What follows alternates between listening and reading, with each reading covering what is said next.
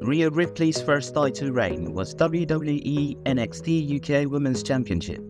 Defeated Toni Storm to win the title, held it for a total of 139 days.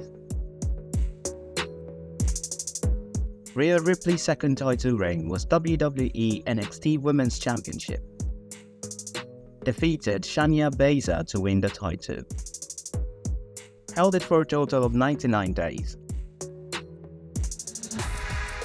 Rhea Ripley's third title reign was WWE Raw Women's Championship. Defeated Asuka to become WWE Raw Women's Championship. Held it for a total of 98 days. Rhea Ripley's fourth title reign was WWE Women's Tag Team Championship with Nikki Ash. Defeated Natalya and Tamina to win the title. They held it for a total of 63 days. Rhea Ripley's fifth title reign was WWE Women's World Championship. Defeated Charlotte Flair to become Women's World Champion. Held it for a total of 360 days.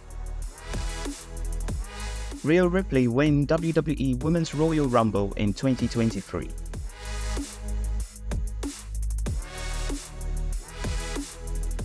Rhea Ripley total of 5 championships and 1 Royal Rumble wins in WWE.